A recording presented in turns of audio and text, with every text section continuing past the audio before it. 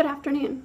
My name is Dr. Michelle Cinciripino, and I am pleased to submit my application for the position of Director of Pupil Services. Brandywine Heights School District is a place where every facet of my 24 year career in education can be utilized for the benefits of students and the entire learning community.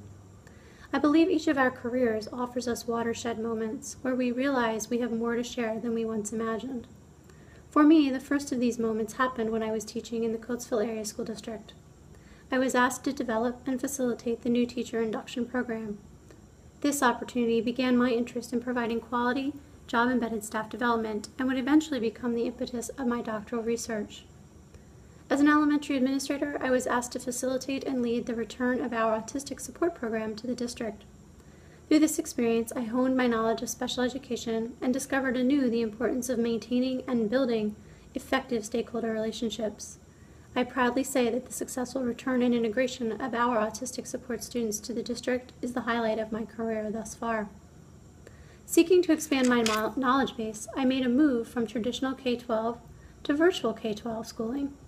I navigated the learning curves associated with this platform and discovered the true power of virtual education for reaching students who are in some ways disenfranchised or unable to access the traditional school experience.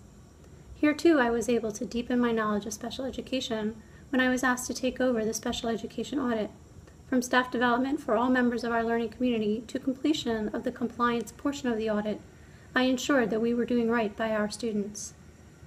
My recent move to higher education daily reminds me of the critical role K 12 learning communities play in preparing students for their future. These daily reminders have fueled my desire to return to the K 12 setting and to ensure that all students, regardless of their learning abilities, are prepared to enter their futures empowered to be successful.